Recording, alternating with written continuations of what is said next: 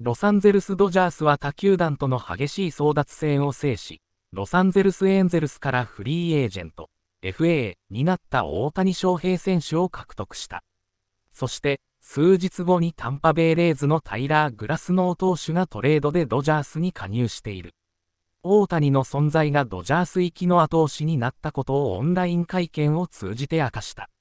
米メディア、スポーツイラストレーテッドが報じている。当初、グラスノーワレーズとの契約が残っているため、残留すると見られていた。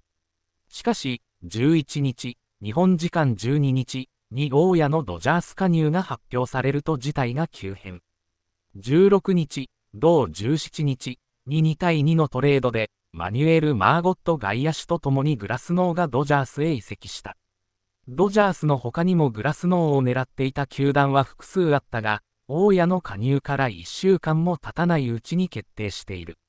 オンライン会見を通じ、グラスノーは、僕はあのチームに入りたいと思った。僕は大家の頭脳を探り、彼が何を学んだかを知りたい。僕はただ、彼と一緒にフィールドに立ちたいと思った。非常に興奮している、と述べ、大家の存在が決め手になったことを明かした。